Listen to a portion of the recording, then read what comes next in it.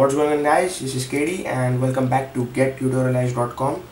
Today I'll be showing you how to make a obstacle avoider pot. So it basically uses infrared sensors to avoid obstacles and this is basically a DIY kit. I bought it from Vega RoboKit. You have to place all the components on the PCB, solder them, make the connections, assemble the chassis and I'll be simplifying every bit of this in this tutorial. So let's go ahead and unbox this.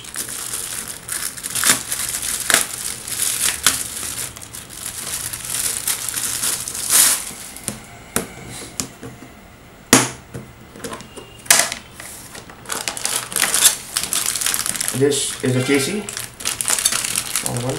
Uh, these are the brackets and this is the front support so two wheels and one caster wheel yeah these are 60 rpm motors and the caster wheel they have provided for the chassis your sensor cables and your sensors. Oh yeah and this is the PCB so you have to just find the right component place it here and solder it from the opposite side. They have also provided another PCB but this is not exactly a PCB because there is nothing printed around here so if you are submitting this project to any educational institution or say for example your college this thing right here might be very helpful. All the assembly components screws nuts and bolts. This is a battery holder and you are surprised it only runs on 3 volts. So make sure you use heavy duty batteries. This looks like the user manual the description and the working all the parts list that is all the electronic and semiconductors the sensor board the description.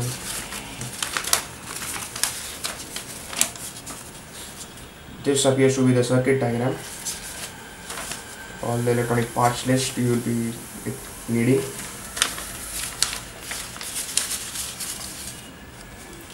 How to assemble blah blah blah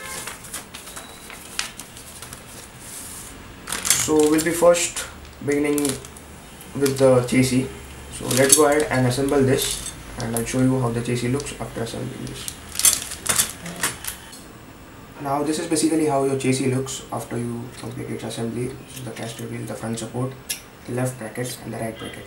Now the next thing you have to do is you have to take a motor insert it into the bracket and use the nuts and bolts provided to fix it so here goes the left motor and the opposite way goes the right motor. So let's just go ahead and do that.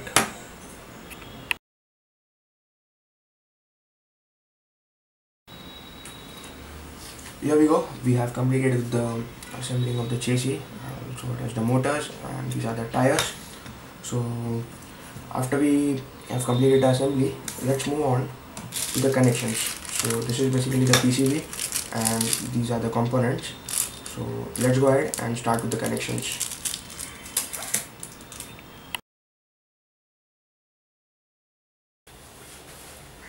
Now coming to the PCB connections uh, we're seeing some resistors say R1 to R13 so there are 13 resistors overall. And you can see on the PC there are values of resistors say 500 ohms 1 kilo ohm and there are many more so the basic challenge here is you have to just go ahead in the bag of your components find the perfect resistor of the perfect resistor resistance value place it on this PCB and just solder it from the other side. So before you get the solder, soldering iron in your hand make sure you scrape off the legs of all the components because there is a tiny coating which uh, doesn't allow these components to get soldered on so let's start with the resistors first then we shall move to the capacitors and so on.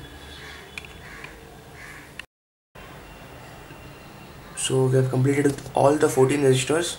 So the next thing we'll be doing we'll be soldering the presets preset 1 preset 2 which is of 10 kilo ohm which looks something like this. This is basically a kind of potentiometer.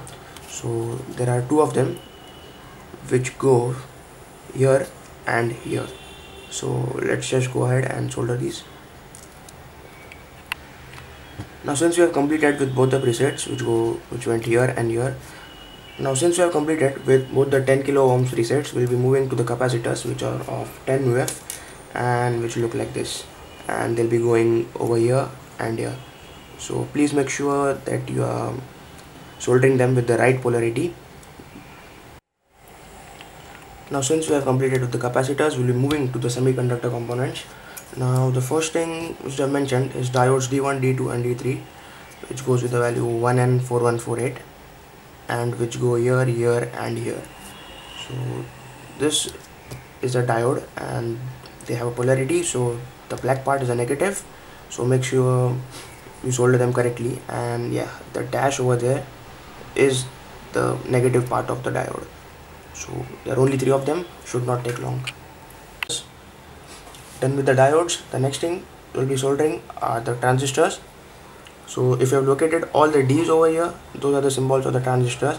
There are two types of transistors 9012 and 9013 so and there are 12 numbers. So make sure you solder them correctly in the correct place. And let's just do it so we have done with the transistors. The next thing on our list is IC4093 which is quad NAND gate IC and make sure not make sure you're not soldering the IC instead you're soldering the IC socket which goes right over here. After that we'll be soldering the switch the battery terminals the sensor terminals and the motor terminals which go here and here. So let's do that and complete our circuit connections we have completed with all the connections of the components. Uh, these are the two terminals for the sensors your battery terminals and your left and right motor terminals. I've also soldered the terminals of the motor and brought up the connectors to the holes. These connectors should be connected to these two terminals. I have also soldered the battery terminals and added some heavy duty batteries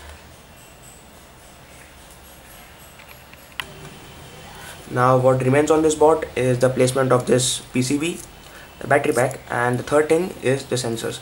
Now since this is an obstacle avoider board those two sensors shall be acting like the headlights of this board so make sure you are facing those sensors as if the motor is moving forward.